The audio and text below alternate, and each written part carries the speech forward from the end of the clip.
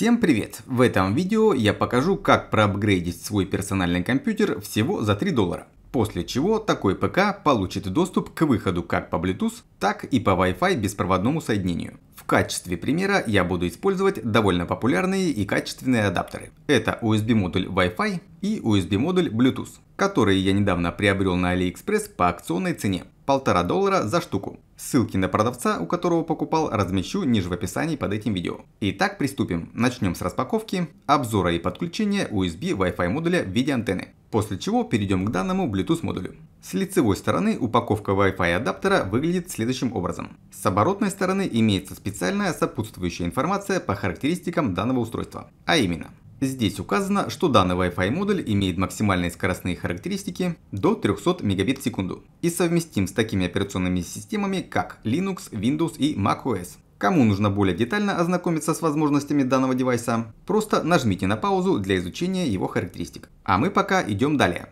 При вскрытии упаковки USB Wi-Fi модуль выглядит следующим образом. Его антенна как складывается, так и раскладывается. Обращаю ваше внимание, что существует много похожих различных аналогов данного Wi-Fi модуля, но качественным и стабильным является тот, в котором установлен чип MediaTek MT760. Так что уточняйте это у продавца заранее, если вы будете его покупать в другом месте. Чтобы вам было более наглядно понятно, я вскрыл данный модуль. И так он выглядит внутри. Со стороны разъемов подключения он выглядит так где видно, что он имеет чип на 40 тысяч МГц с антенной связи. С другой его стороны имеется тот самый качественный чип MediaTek MT760. Итак, с этим разобрались. Подключаем данный Wi-Fi адаптер к моему ПК.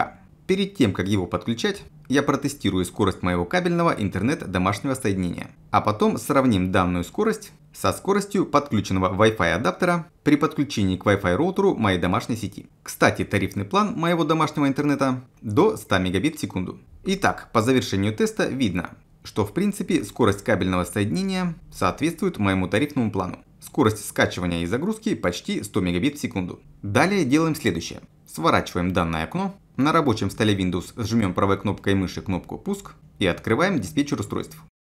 Теперь берем данный USB Wi-Fi адаптер и подключаем его в любой свободный USB-порт на материнской плате персонального компьютера.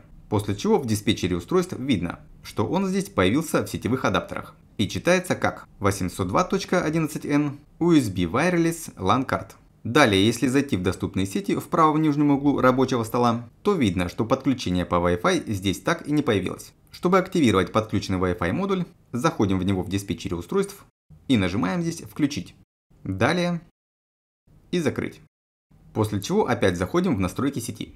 И как видно, теперь у нас появилась возможность подключиться здесь по Wi-Fi сети. Чтобы подключиться с ПК к Wi-Fi сети своего домашнего роутера, необходимо отключить кабельное соединение. Для этого я нажимаю по значку кабельного соединения правой кнопкой мыши, захожу в параметры сети, открываю дополнительные параметры сети и отключаю здесь кабельное Ethernet подключение. Закрываю окно параметров и опять захожу в доступные подключения. Нажимаю здесь Wi-Fi, данную стрелочку и подключаюсь к своему Wi-Fi роутеру. Как видно, значок Wi-Fi сети появился. Теперь мой персональный компьютер подключен к интернет не по кабелю, а по Wi-Fi соединению, благодаря подключенному Wi-Fi модулю. Давайте протестируем его скоростные характеристики. Для этого я буду использовать тот же сайт для измерения скорости. Как видно, скорость беспроводного соединения стабильная. Скорость скачивания и загрузки составляет более 80 мегабит в секунду. Как для Wi-Fi соединения, это отличная скорость. Учитывая мой тарифный план кабельного интернет-соединения до 100 мегабит в секунду. Итак, с Wi-Fi модулем разобрались.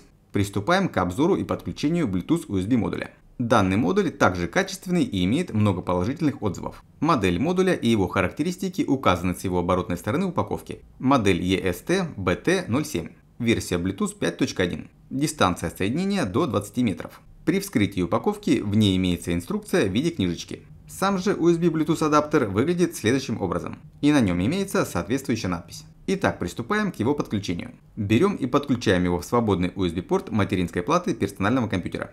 Делаем это соответствующей стороной его подключения. После подключения видно, что Bluetooth адаптер отобразился в диспетчере устройств. Если открыть сетевые подключения, то видно, что здесь появился значок Bluetooth соединения.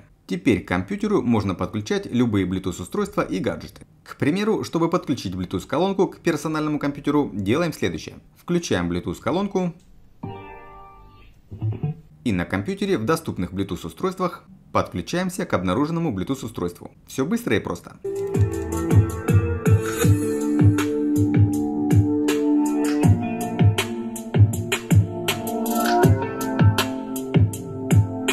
В итоге за 3 доллара на своем ПК я получаю доступ как по Wi-Fi, так и по Bluetooth соединению, что очень удобно в различных ситуациях. Кому было полезным и понравилось данное видео, поддержите его лайком и подпиской на канал, не забыв нажать на колокольчик. До скорых встреч на моем канале и всем пока!